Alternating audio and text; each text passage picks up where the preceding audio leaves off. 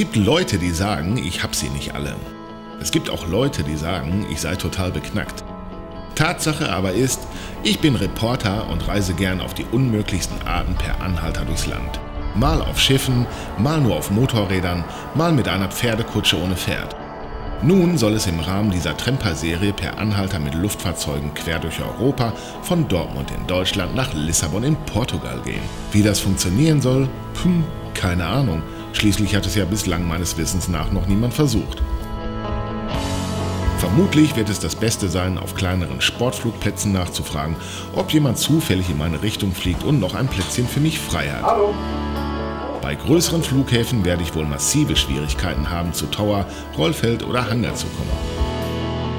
Auf jeden Fall bin ich mal wieder unterwegs auf die Hilfe der Menschen angewiesen, die mir begegnen und die mit mir gemeinsam die Augen offen halten. Aber ich habe mir sagen lassen, dass der Flieger an sich grundsätzlich für jeden Spaß zu haben ist. Hallo, auch ich werde wohl damit rechnen müssen, dass ich nicht überall in kürzester Zeit weiterkomme. Schließlich muss alles zusammenpassen. Gutes Flugwetter, geeignetes Luftfahrzeug und vor allem ein Pilot, der in meine Richtung fliegt und auch Lust hat, mich mitzunehmen.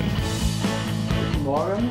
Die Regeln unterwegs, ich darf keine Linienflüge buchen oder für einen Flug bezahlen. Es soll ja auch schließlich keine Urlaubsreise werden, nicht wahr? Ansonsten darf ich nehmen, was sich einigermaßen sicher in der Luft hält. Sportflugzeug, Ballon, Hubschrauber oder von mir aus auch ein ausgemusterter Space Shuttle. Ist mir egal. Hauptsache, ich komme irgendwann ans Ziel. Wie lange das Ganze dauern wird und ob es überhaupt funktioniert, ist völlig offen. Ich schätze mal, ich kann schon froh sein, wenn mich jemand ein oder 200 Kilometer weiterbringt, im besten Fall auch noch in die richtige Himmelsrichtung. Eines ist sicher, spannend wird es allemal. Du kannst dabei sein. Das gesamte Projekt wird auch während der Reise aktuell unter airtramper.com in Deutsch und auch in Englisch geblockt. Ich bin gespannt. Vielleicht läuft es ja auch besser als gedacht und es geht sogar über Lissabon hinaus. Wir werden sehen. Bis bald.